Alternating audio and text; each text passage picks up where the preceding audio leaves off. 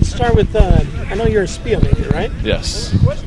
What interests you about being a SPEA major? Um, actually, in my in high school, I had uh, two marketing teachers that really influenced me of like going like the business way, and um, I uh, SPEA seemed more uh, more to fit me than Kelley, but um, my two uh, teachers, Mr. Schonauer and Mr. Saeed, in high school definitely influenced me to go towards SPEA. So, what do you want to do with it? Um, I'm not 100% sure yet. I'm still young, so uh, I've got uh, some time to think about it. But you know, hopefully, I'm going to something with management. But um, I'm not sure yet. What are the classes that really interest you that, that you've been going through? I mean, to where you're really kind of excited to go to class. Um, right now, I'm in a class. Uh, it's something to do with like urban development, and uh, right now we have a project that's due in a couple weeks, and we have like our own island, and we basically have to find everything for it. We have to find like the water supply, electric supply, um, like tourist attractions, ways to find money, and um, that uh, that really catches me. And you know, I look forward to going to that class every day. What did, what drew you to Bloomington? What? What drew you to Bloomington to want to play here? I'd have to say the campus, all the coaches, they're all young, they can relate to us. You know, they're easy to talk to. Um, uh, Coach Jagger, he went to my high school. He made a really easy uh, transition for me, and just the atmosphere, and just a, it's a great campus. You've been gone for a couple of years, but what do you miss about high school? Um, uh, this, probably the the laid back practices.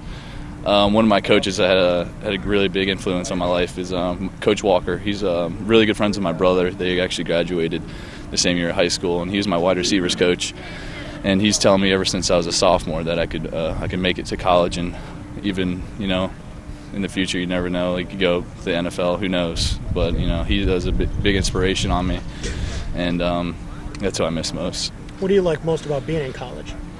The probably the atmosphere, people just um, the people just look up to the, the athletes a lot and um, you know uh, you you have to be like an icon. You have to always like look at what you're saying, who who you're talking to, and um, just I don't know. The atmosphere of college is just it's kind of, it's ridiculous. Is it hard to to keep that in mind when you're just trying to be a college kid, and you know you do have people that are that are looking at you?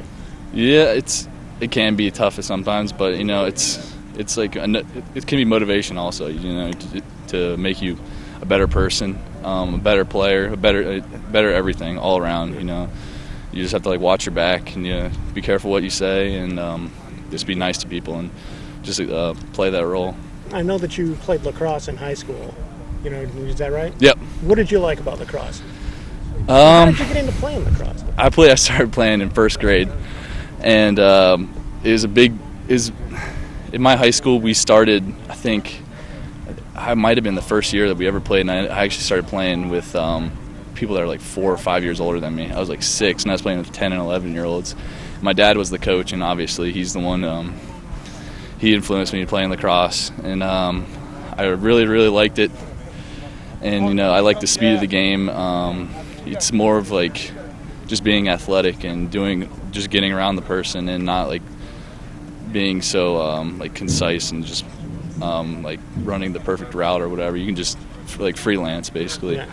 And um, I actually was thinking about playing uh, lacrosse in college. Okay. But then, you know, um, I ended up loving fo- football a lot more. How did that make you a better football player, lacrosse? Um, f- footwork, uh, just being fast, um, just uh, made me a lot more coordinated than, uh, and um, I don't know, just it all it, it complements football in a lot of ways. And just I don't know, in a lot of ways. Who's the first person you text or call when you get done with the game? Um, man, lately, lately they've been uh, my phone's been blowing up after games, but um, probably the first people I go and talk to are my parents. You know, I, I leave, I look, put my put my phone down, and um, I wait for the, I put it aside, and I go and talk to my parents after the game, and uh, you know, I get to see them rarely, and it's like a vacation going home, but um, I definitely talk I talk to them first because they're going to every game. You okay with some people calling you touchdown Teddy? Yeah, yeah. A lot of the names, the name Teddy's been picked up a lot lately, and um, I don't know why, but I feel like Do you not like Teddy? no, I don't mind it at all. But uh, I feel like whenever it has to do with football, Teddy just comes into people's minds, and I don't Okay. know why, but you know I'm accepting it, and you know some people uh, may think it's uh, a girly name, but you know, I'm taking that role. You happy with the touchdown part of that? Yeah, you know, I'd take that any day.